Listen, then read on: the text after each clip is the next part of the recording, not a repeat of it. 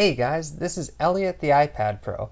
Today I'm going to show you how to make a password for your Jupyter website, and then we're going to talk a little bit about security.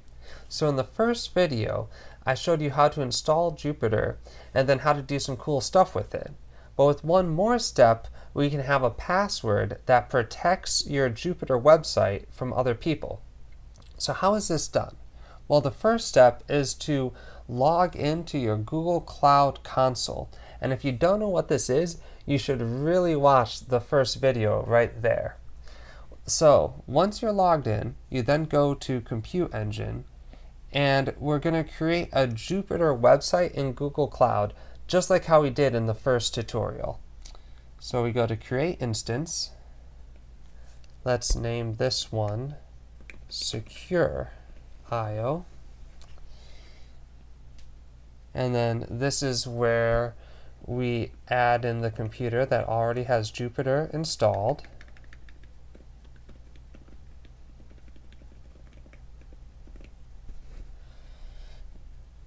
Under Advanced Options, we click these three buttons. We decide the type of hard drive for our computer. And we allow HTTP traffic. Now before you click create, like what you would have done in the first tutorial, now we add in a few more commands under the command section for the container. We add the word tini, we put in the minus g, and then here we put in the word password, all lowercase. And underneath there, you decide what you want your password to be. Now you can't use any quotation marks and you can't use any spaces.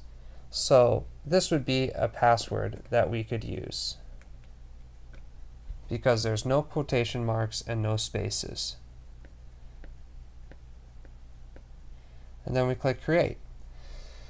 And now we created our computer that has the Jupyter website and it will be up and running in about 15 minutes. Alright, so Jupyter is now running, so let's check it out. So the first thing we do is we copy the IP address, and then we go to http colon dash dash the IP address. And this will bring us to the spot where we have to type the password. So we type the password that we just created. After doing that, we'll log into Jupyter. And from there, we can see that it's the exact same environment that we had in the first video and setting up IO is just as easy as it was before.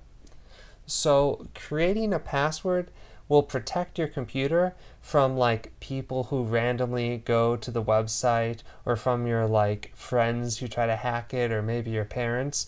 But it's not going to protect your Jupyter website from like terrorists or from like other governments. So if you have like really important data, let's say a few thousand credit card numbers or military secrets or people's medical information, then you need to create a more secure Jupyter website. But luckily, I made a way for you to actually create very, very secure Jupyter websites. And you do that by doing the exact same steps that we did just before, but with one change in a single letter. So let's just repeat what we just did. We'll call this new computer uh, very secure IO. And then we'll deploy the Jupyter container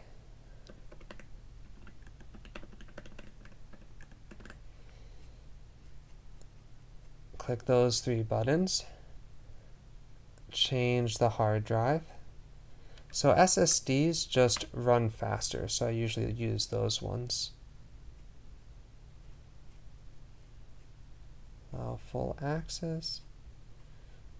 Okay, so then we do almost the exact same command as before, tini minus g, but now since we want to protect our computer with a capital P, we put a capital P in the password. So password with capital P, and now we create our password. Another password. And that's it. We click cre create to create this new computer.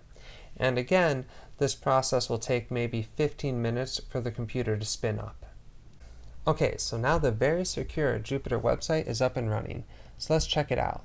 So like before, we copy the IP address, and this time where you go to is HTTPS, which stands for secure, the IP address, colon, and then socket 80.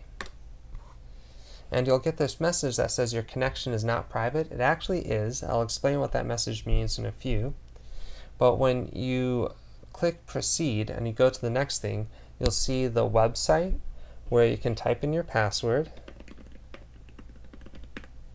And then when you log in, you'll then see Jupyter Notebook. Now, one annoying thing about this version of Jupyter is that it does not work on iPad. When you try to open a notebook, you'll get this message that says there's some connection failure with the kernel. But it will work perfectly fine on a desktop, like Mac or Windows. So what's the difference between these two different versions of the secure Jupyter website? Well, one version works on all machines and it's secure, and then another version works on only laptops but it's very secure. And the difference comes down to the fact that the very secure version uses the SSL protocol. And I think that stands for like secure socket layers. And what that means is that both machines have a password so that no bad guy can access them. So imagine you have your Google Cloud, which is running Jupyter, and this is all locked inside of a safe. And then you can use your computer to communicate with Jupyter. Now, a robber down here might not be able to get inside of the safe, but what he can do is kind of wiretap the conversation that you're having with the computer and steal all the messages that you're sending because they're not encrypted. So if you happen to send the password over to the computer, then he can catch that and then he has everything and can access your computer. So the extra secure version of Jupyter stops that by scrambling up all the messages that go between your personal computer and the Jupyter server. So I hope you guys enjoyed the video. If you did, please click the like button and subscribe. And if you have any questions or like if you have ideas about how you can get the really secure version of Jupyter to work on an iPad, you know, please uh, write it in the comments. I created IO and especially the application IO Online so that everybody who's using Jupyter can be part of a sharing community.